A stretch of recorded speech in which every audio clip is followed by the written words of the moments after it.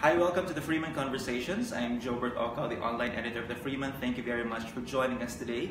This is Power Women, and this is our way of paying tribute to women who are not afraid to make a difference. We are live here at the Mandaue City Hall at the office of the Chief of Staff of uh, the City Mayor, and we are talking to a woman who is not afraid to make a difference. She is probably one of the most recognizable faces in Mandaue City, and of course she holds several leadership positions, being Chief of Staff, as well as Assistant Dean of the University of San Jose Recoleto School of Law, and of course, former leader of the Integrated Bar of the Philippines, both here in Cebu City and in Eastern Visayas. I'm talking to no less than Attorney Elaine Bathan. Attorney, thank you very much for joining us. Pleasure. And welcome to this maiden episode of Power Women. Thank you. Thank Uh, you. we're celebrating Women's Month. I know, I know, and I'm glad to be part of, of this uh, program, and I'm very honored that you have chosen me to be one of the empowered women in Cebu. The honor is ours. Thank you very much again for accepting our invitation. By the way, congratulations on the successful staging of Vagina Monologues. Yes, thank you. it was fun. Um, it was a very wonderful experience. You, you were once again, uh, read, you once again read this year. Yes, yes. I was one of um, the Vagina Warriors. We Mhm. call ourselves that together with our sisters. We've been doing it for several years now, and I have been a part of um, the, the advocacy since 2014. Mhm. Tell us a little bit about the Vagina Monologues because for many, the concept seems to be a little vague. Because the title itself is very intriguing. Yes, But yes. it is actually a series of pieces written by Eve Ensler, Mhm. and it's actually dedicated to empower women and to pursue the advocacy of women fight against the abuses Right. of uh, women and to empower them, to allow them to embrace their femininity, to embrace what it is and how wonderful it is to be a woman. And we're doing it on stage. We are doing it on stage. We're doing it live without any um, prompter Mm. to, to, to, to guide us. So we memorize our scripts and Mm. we have to prepare it. So we're on our own. We're on stage. I heard that everyone there on that stage are empowered women. I would like to think so. The fact that we took courage to be there on stage to do our pieces, to do our monologues on our own, with people watching, probably making or waiting for us to make mistakes. I think that that is empowerment enough. yeah, but the women of today are not afraid to make mistakes. I believe so. That's that's one of the things that I'm very proud of. We we get to see uh, women who are bold, um, women who are not afraid, women who are not afraid to make mistakes, and if they do, they embrace it. Right. Um, I'm glad you mentioned those because my next question was supposed to be how would you describe the modern Filipina, uh, the modern Cebuana? The modern Filipina and the modern Cebuana to me is somebody who is unafraid of doing things on her own, unafraid to speak out, speak Yeah. her mind, unafraid to take the risks, unafraid to do what she wants to do. And um, to me, the modern Filipina and the modern Cebuana is comfortable of what she is and um, who she is. She is uh, emboldened to me and she's happy. And most of all, to me, a modern Cebuana is somebody who is involved. Somebody who is not complacent or passive anymore. Right, yeah. Somebody who takes part Mm. uh, in anything. Just like I said, just like I said a while ago, somebody who speaks out, speaks Mm. her mind, does things and take risks. Major takeaways there. Um, the modern Cebuana or Filipina and Filipina Mhm. is not afraid to take risks Yes. and is comfortable in her own skin and her Mhm. own voice. Yes. May I ask uh, the major risks you've taken Oh. in your career as a lawyer and as a woman? Well, one of the well, one of the biggest leap of faith, perhaps that I have taken, was to enter into public and government service. Mm. Um, when It's I passed the bar, never not easy, to be in governance. Not at all, not at all. And um, it, it is the first time for me to, to uh, take the giant leap and, and giant step to join um, public service and serve in the city of Mandaue. For many years since I passed the bar, since 2005, I have been very comfortable in, in the practice of law.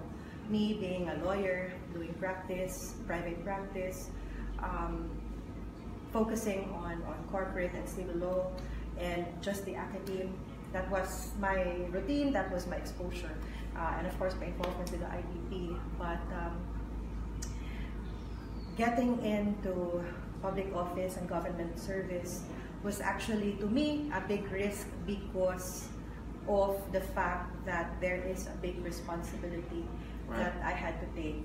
And it also entailed giving up a big chunk of my private practice, which actually, um, one, was my comfort zone with regards to my fulfillment as a lawyer, and second, and to be frank about it, um, financially, it keeps you afloat. Uh, and I had to give up a lot of those. Um, coming into public service, the demands of your time, right. the pressure, the expectations, um, how you deal with uh, people, the concern of every citizen, of every Mandawianan, of every client of the city is too vast, too varied, too huge, and it's yeah. what we handle and we tackle every day. Not to mention taking care of um, the, the mayor himself. Yes. The business of the mayor. Exactly. You know, you have to uh, balance the affairs uh, of the mayor vis-a-vis uh, the needs uh, of the city, which we have to look after foremost. You know, so uh, it's, it's quite a big responsibility, and um, that's a uh, that's me taking a big leap from my comfort zone onto government service, and uh, I'm surviving. and you're, you're doing your public service alongside your duties in USJR School of Law. Yes. How do you manage your time? it, it's a matter of probably yeah, a lot of people uh, are actually asking, no, um, how yeah, to um, you're not only assistant dean. Yes. You're also teaching. Yes, I am. Well, you know the, the, the demands or the requirement and my time with uh, the School of Law um, is actually after my work here mm. in City Hall, which is uh, after 5. Yeah. Um, classes in the School of Law start at 5.30.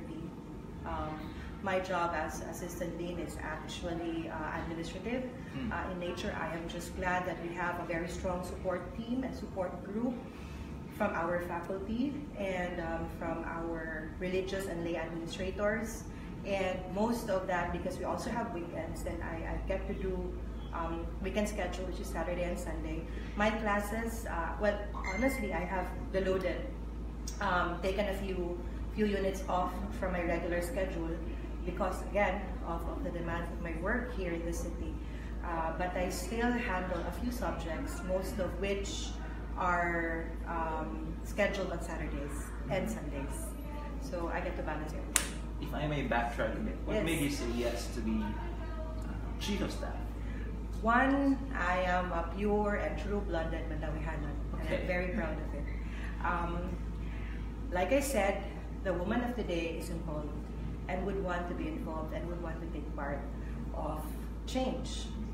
And that is what I wanted to, to do for Mandaue. I cannot just, you know, continue to sit and complain mm. or try to see and say on my own, just alone, and say, um, this should have been done or yeah. this should have been done better.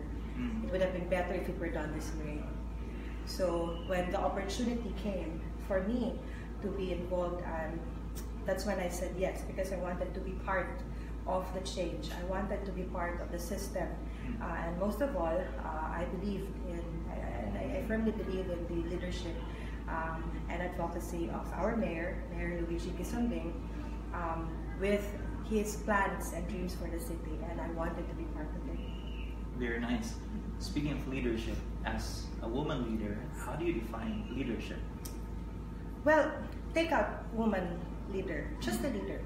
The leader to me is somebody who is able to allow others to look, not just look outward in the same direction as him, mm-hmm. but he or she is also able to empower all those around him to lead their direction towards that common goal.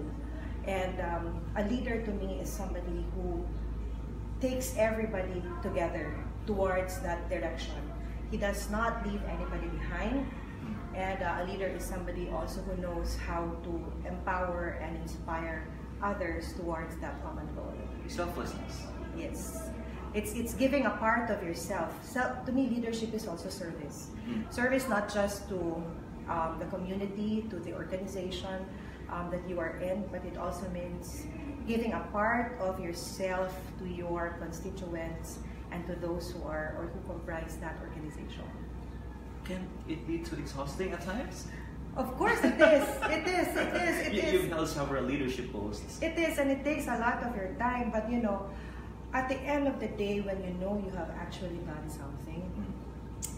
that is the ultimate and intangible reward that you actually get, and you get that certain sense of fulfillment um, from within, and you know, you get to see that at the end of the day, all your efforts are worth it. I mean, you don't get there without actually giving a part of yourself. You don't get there without sacrificing a bit. And the journey, wherever you are, whether it's towards your ambition, whether it's towards the goal for your organization, will never be an easy track. But um, what's important is that you you keep on. You know, that, that's why to me, um, a leader, it's it's like a bus ride. All of you get there. All of you, you you get to the destination together. Does it matter if people at the end of the day appreciate or acknowledge what you do? Not really. Um, because for one, it's it's you who actually sees the the results.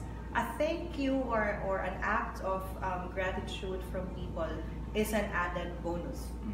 Well, it's an icing on, on the cake, but Mm. it's not the cake really.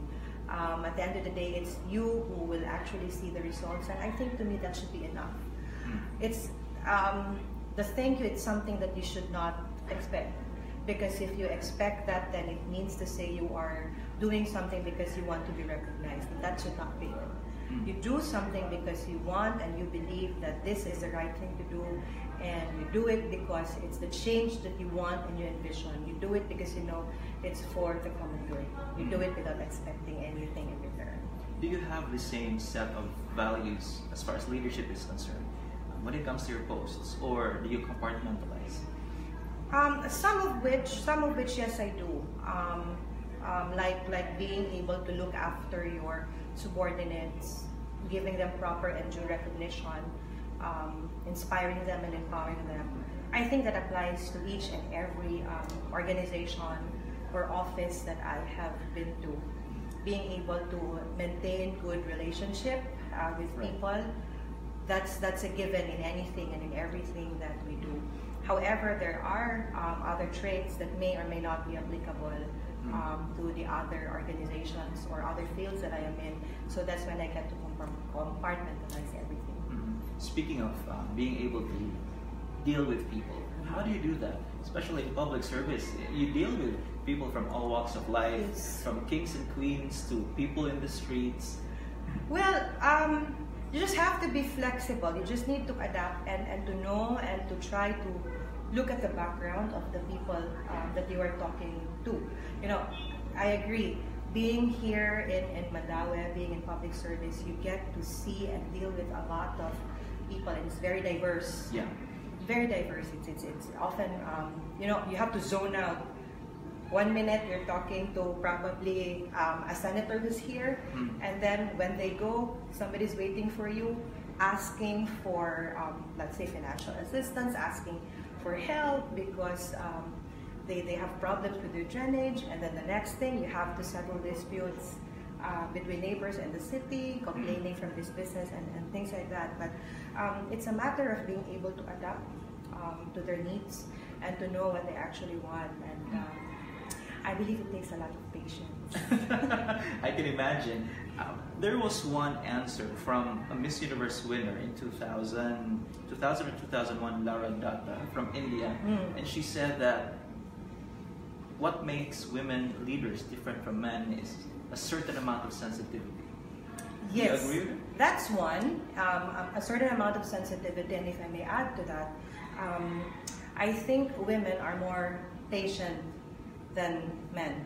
We tend to, you know, um, be more composed, Mm. Be more relaxed, and um, we tend to, to, to extend our patience to, to a certain limit. We don't necessarily you know, blow our top right away, and we, we, we were able. It's I think it's a skill. You know, when you say maximum tolerance, I think it's a skill. It's a skill that's uniquely um, owned by women. And I think that's very important when dealing with people, especially when you're dealing with um, issues that are um, quite sensitive. Mm. Um, complaints, for example. Exactly. How do you deal with complaints? And I believe you deal with them every day. Yes, it's a bit. It's it's it's a bit. It's an ability I think that you've um, developed and learned um, through time. Ability to know how to mediate, Mm. and um, it, it, it takes a lot of. Um, what is important is I, I think you know you, and you have the ability to listen, to listen to both sides, and and, and to show to to people that you are impartial. I think it what, what, what, what is important to me is that you are able to, to show to them that, especially in the line of work now, that they matter, what they have to say matter, that they are important because I think people come to the office because they want to be heard. And we, we value that. That's why our office is open to anybody um, who, who have needs, whether it's from an ordinary parking ticket or a problem with them being demolished in a few weeks' time, or them without a job, them want, needing um, assistance for graduation, to, to anything. Um, and, and, and I think it's, it's important that um, you have the ability to listen. Empathy um, is very important because if you cannot show to them that you understand them, that you, you are able to relate to their needs and, and then, then how else can you, you know, these are the only things that these people often hold on to. Mm. The reason that they come to you is because they know that they can ask help or that you could be of help to them. Mm. And I would not want to deny them of that. Is that how you also define genuine public service? I believe so. Um, to me, genuine public service is really being able um, to be there for those who actually need it. And it's also being sensitive um, to the needs. Um, oftentimes, there's that uh, need to be uh, even a step ahead uh, of them um, to oversee and foresee what could be the problem and to be always, always ready with solutions. In IBP, Yes. how was your leadership um, experience in IBP? You're dealing with, you must have dealt with uh, very strong personalities, Yes. lawyers. of course, um, you know, it wasn't an easy feat for me considering that one, I was the first um, woman governor Mm. in um, the Eastern Visayas region. I was the youngest um, president of IBP Cebu City chapter, and I was the only woman governor sitting in the, the national board um, during my term. But it turned out that everything went or was to, to my advantage, actually, with me being a, a woman, um, woman at that. Um, in the national office and in the national board, me being again the youngest and the only woman, I was able to turn things to, to, to, to my advantage by um, being heard by them, being given the opportunity. There was actually no um, unequal treatment. I was treated as, as a governor, as a member of the board, with special treatment. They called me bunso because I was young. Yeah. And um, every time there were issues that were that were tackled, um, they were used to me speaking my, my mind out and um, resolutions that were uh, that I bring in on, on the table, um, either on my own initiative or through uh, the different chapters in my region, um, were in fact um, given um, due due credit and credits and were, were approved and taken up by the board. For the region, um, I believe we had a very, very successful um, two-year term. Mm. Um, I was able to go around So um, the governor, region. uh, Yes. IBP, Yes. has a two-year term. We have a two-year term. What about the presidency? The same. The same, okay. What's unique about um, the president is that for, for this term, you get to elect the executive vice president from among you. From among the governors. And the executive vice president will move, at the end of our term, he moves on to be the national president. I see. Okay. Okay, and then um, it was very successful. We were uh, able to, to do and we were able to introduce a, a regional legal aid day, Mhm. which is already um, in place um, beginning my, my term and, and succeedingly. It's a regional legal aid day for all, all the regions. We were able to pass several resolutions that would benefit not only the regions but all the chapters in the country. And um, we've had a very successful regional convention and um, legal aid summit for, for my term. So it was Being, fun. being a very young leader, one of the youngest, how did you make the senior, the more senior members listen to your voice?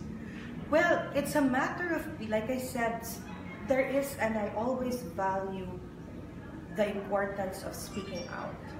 Because if you don't, and you do not let your voice be heard, you do not give your inputs and what you think, how can you introduce change to the system? How can you put in um, the changes that you would want, the improvements that you would want for your organization or for your chapter. It takes a lot of courage and bravery to do it, but you have to do it. The fact that you took on that responsibility, that it means to say that you are courageous enough and brave enough um, to see and to do what is incumbent and expected of you. Um, and uh, I think I was um, just lucky that in, in the organizations that I was in, age was actually not a, an issue, issue, okay. neither was gender.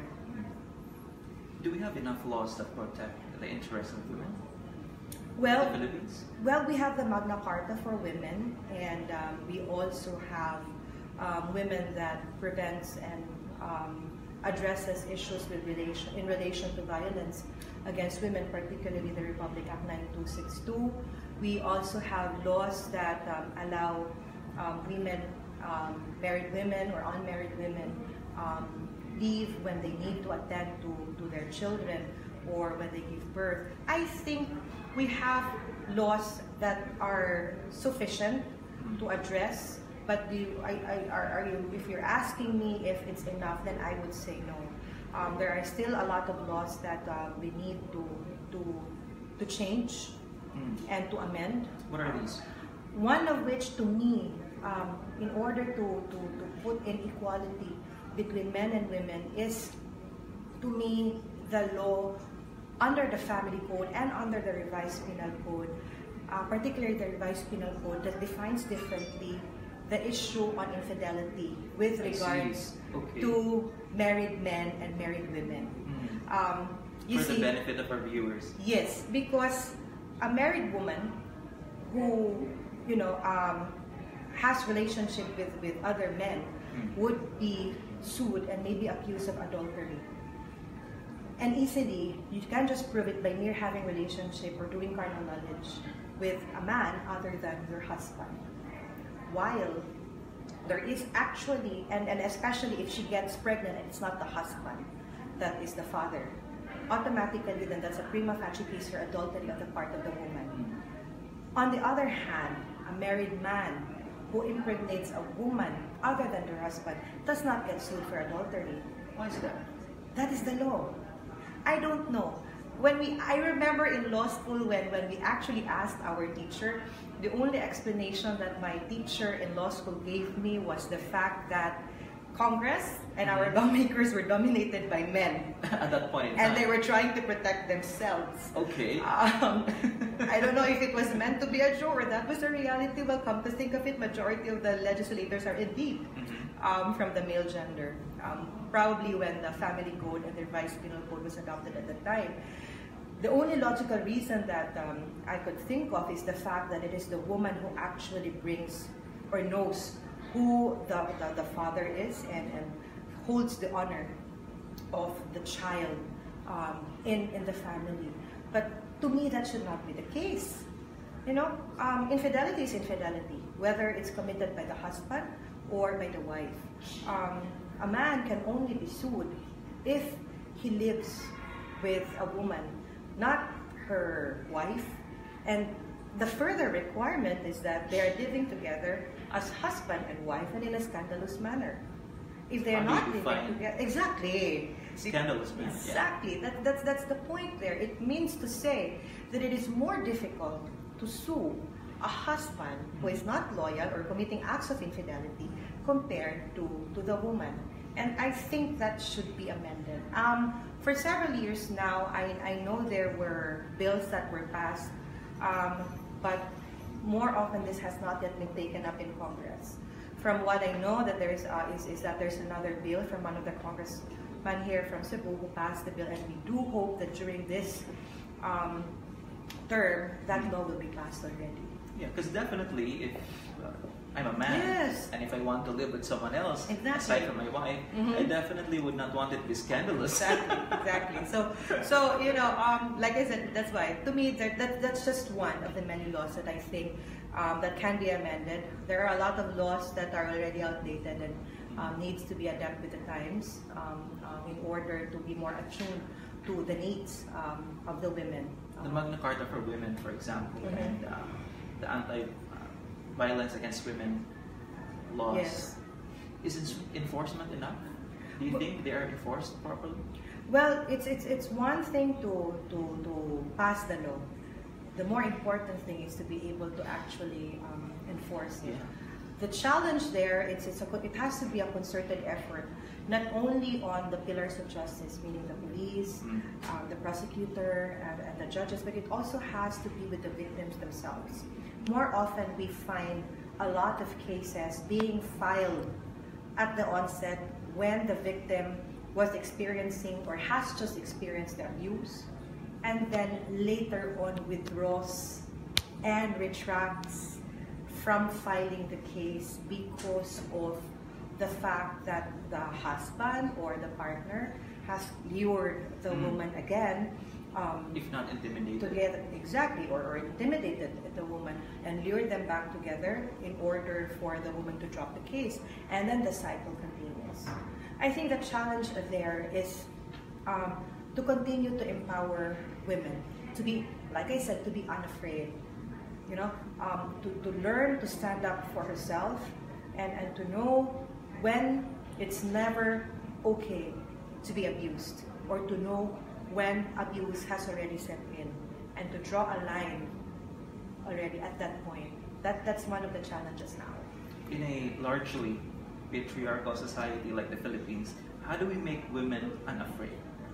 Well, it's, it's, it's a matter of giving them a lot of opportunities and options um, to, to be able to stand on their own. Because more often, the reason why women think that they cannot stand on their own, it's because they do not have the opportunity um, to empower them, to, to, to, to build their self-confidence, and to know that they too can, can be self-sufficient they have to be self-reliant. Know they, their worth. the Know their least. worth, exactly. Know their worth, be comfortable with what they are, and, and, and just believe in themselves and know that they can do it without the help of any person. I'm interested to know. Um, you've held several leadership positions. I'm sure not only in your professional life, but also in your student life. Mhm. Where do these values come from? Your leadership principles? Well, I would like to say it's, it's mainly from, from my parents. Um, we, I, I've come from a middle class family.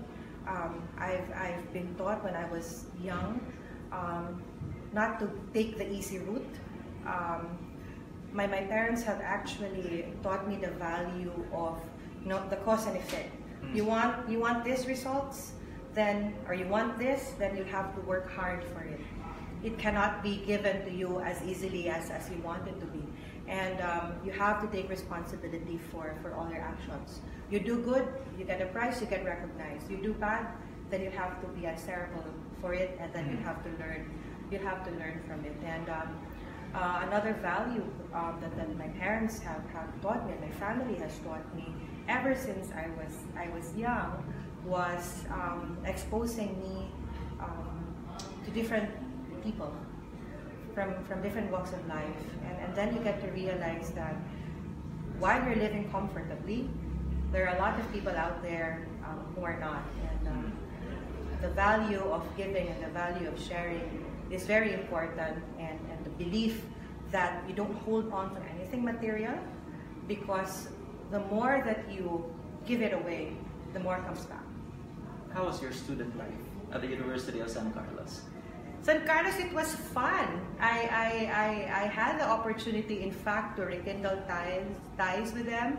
Um, last week, I was the speaker for the awards in San Carlos for the Outstanding Leader, Outstanding Graduate, and the Outstanding Organization. I was also a recipient um, of that award. Um, and I got to actually recall um, how, how college was uh, back then. I had a very balanced college life. I was a government scholar of Mandaue, so I had to maintain a grade. Mm. But I was involved with the student court. I was a student coordinator of the Student Affairs Office. I was a member and an officer of the University of San Carlos Junior JCs, which was actually um, very vital uh, and played a, an important role in my development um, as a leader. And um, I think that was where I also was able to hone um, my skill and my ability to deal with people from all walks of life. Mm. That was actually the, the exposure that I got. We got to, I had my first experience of traveling alone without my parents uh, because of the organizations that I was in. Where did you go? What we went to we went to national conventions um, of the junior JCs. We had leadership trainings in Baguio, representing the school. Um, I was sent to attend the junior APEC um, summit. That was the first time that I get to meet at that time President Fidel Ramos, um, who was our president then. I had different exposures, and, and, and I was very grateful and thankful for the opportunities that was given to me. Right. Who do you look up to in the area of leadership and well, in the area of law? Well, um, in the area of, of, of leadership, um, I have been and I am still a fan of Hillary Clinton. Hillary Clinton to me was an epitome of a mother, of an empowered woman, of a leader. She was never shaken um, and, then hold on to her marriage, held on to her commitment uh, as a wife, um, despite the weaknesses of, of her husband, embraced it and was there for him. She was an epitome of class and elegance as a first lady to me. And then she went on to make a name for herself, Mm. away from just being the First Lady of the United States of America to being the Senator, a Secretary of State. More importantly, she was a lawyer. I have read her biography and I was very fascinated with her advocacy when she was still a law student. Mm. Up until the time when she was practicing her field, she was involved in a non-government organization, did a lot of pro bono cases, and um, um, then the defeat Right. in her presidency. She sh- was not able to break that glass ceiling Mm. up there, but um, how she took it um, and, and how she embraced failure, no matter how painful, is something that every woman, every individual must, must follow suit Mm. and, and must learn must learn to do. Because to me, in our lives, um, failure is inevitable. Um, there will always be bumps along the road, but what's important is that you are able to accept it and you are to embrace it, and you should know all the time that life goes on. There will be several opportunities for you. That, to me, she's, she's, she's um, the epitome of the kind of woman that I would like to be. Another, of course, is my mother. Okay. My mother was a government employee. She was a mother of five. However, um, she was somebody I will always look up to in terms of being selfless. How she took care of my father when, when he was sick, how um, she took care of us and the discipline that she has um, inculcated in us and the values um, that she has um, bestowed on us um, to, to today a lot of most of, of what I am and the discipline that I have had is, is mainly because of her. And of course, the lawyers that I look up to, um, I don't need to go too far. These are my aunts. They were the two deans Mm. of, of the two schools, San Carlos and, and San Jose, Dean Alice Bathan and um, Dean Cora Valencia. Do you think consciously of your gender um, on when you do something? Honestly, not. Um, no, no, I don't. I am oftentimes more conscious sometimes of my age, than my gender. because sometimes I, I, I feel that um, I'm too young to be doing these things um, compared to, to, to the circle um, that I am in and, and the bracket and the age bracket of, of, of most. Mm. Um, but gender, no. My being a woman was never an issue. I believe that my being a woman was never a hindrance Mm. um, to the successes and the opportunities um, that I have had uh, uh, in my life. No, not at all. One of the perhaps women of the hour, uh, Meghan Markle, Mhm. the future wife of Prince Harry, Yes. said in one of the events in the UK, women don't need to find a voice. They have a voice. They need to feel empowered to use it, and people need to be encouraged to listen. Do you agree with her? Yes, foremost, I must just say that I envy her because I love Prince Harry. and she is the envy of most women, I believe, you know. Um, and yes, I agree with her. The voice is just inside you. And I've always believed and I've always said it that, you know, a lot of bad things happen, not because there are a lot of bad people who do it, but it's because there are so many good people who keeps quiet and silent about it. And, and, and, and, and I believe that. And, and I think that all it takes for, for good, for, for evil no? Um, to succeed is for good men to do nothing. And, and I, I think that a woman needs to know and needs to find her voice because that voice is just there. It's just a matter of taking the courage Mm. to speak out, learning and knowing what it is that you want, what is the change that you want, and, and, and learning how to speak and what to say. That is the most important thing, and you only are able to do that if you are empowered. If you know that it's so nice to be a woman, it's fun to be a woman, and um, there are a lot of well advantages of being a woman, and you need to take and grab that advantage. I might be asking you to to look at the crystal ball, but as Yes. far as women's rights and are concerned, women empowerment is concerned, where are we heading? At least in the Philippines. I am seeing a very positive light for the women in the Philippines. I have seen a lot of changes um, with regards to the attitude of women and how the society sees and perceives women. We don't judge them anymore um, based on, on their gender, but we get to judge them based on their capacity and capability and what they have to offer to, to society. Um, I have seen also a lot of change in the women of today that the Filipino woman is more bold. It's more, they're more outspoken. Um, there are a lot of offices and, and, and places and profession that, you know, people perceived for so many years is only fit for women. Let's start with public service and Mm. government service, elective posts. Yes. Before Congress is dominated by, by men, mostly men. There's Could that the reason- perception Could be the reason for that. of that law. yes. But now, but now, um, you will see a lot of women politicians getting the posts. Mm. You go to the judiciary, the concept of, of, of, of most men, most people is that being a judge, being a justice is a man's job. Mm. But no. You go to the aviation, the airline industry. Before, there were no women pilots. But um, recently, um, I was talking to my cousin. He showed me a photo of um, this airline company celebrating Women's Month and showed me a photo. And there were more than 50 pilots, women pilots. um, Incredible. in the industry. Um, captains at that, not just first officers. So you would see that the times have in fact changed.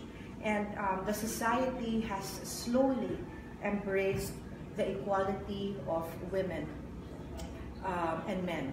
Um, even in law school, you will already see that it's a, there are a lot of, of um, women law students uh, who would want to be lawyers already. And I'm sure it applies to most most profession. And I think it has something to do with the different um, organizations really advocating for um, women empowerment.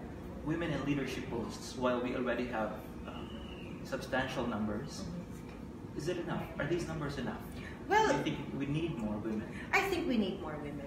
You know, um, the, the, the, the society needs um, more women to, to do what is incumbent upon them, to bring change, to allow women to inculcate and embrace their femininity, to campaign and advocate for the different abuses and the different um, violence that, that women have experienced through the years, not just in the Philippines, but all over the world.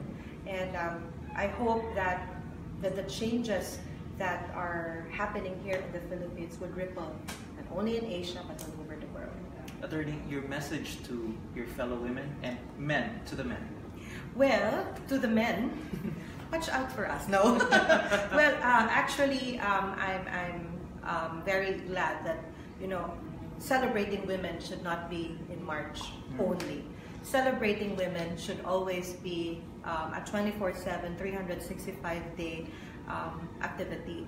And my message to my fellow women out there is that we should always know and feel that in all ways and in um, all the ways we are special, we are capable, and we should always be empowered to speak up and um, to be brave enough to do the things that we need to do and never forget that life will always be about risk and the modern women of today is one who will never be afraid to take risks. Very nice. Thank you very much. Thank you. Elaine Thank thank you you. very much Thank for you. this opportunity to be with you today Thank and you. for joining us in this maiden episode Yes. of Power Women. Thank you. Thank you very much. Thank there you. you. have it. Our first guest in Power Women, Attorney Elaine Bathan of Mandaue City. She's the Chief of Staff of the Mayor, as well as the Assistant Dean at the University of San Jose Recoletos School of Law and Professor at the School of Law as well, former leader of the Integrated Bar of the Philippines. Thank you very much for joining us in today's episode, and please do watch out for our other segments, um, special episodes next week as we continue with our Power Women series in the Freeman Conversation, our special tribute to women who are not afraid to make a difference. I'm Jobert Okal, the online editor of the Freeman. Thank you very much for joining us. Join us once again next time here in the Freeman Conversations.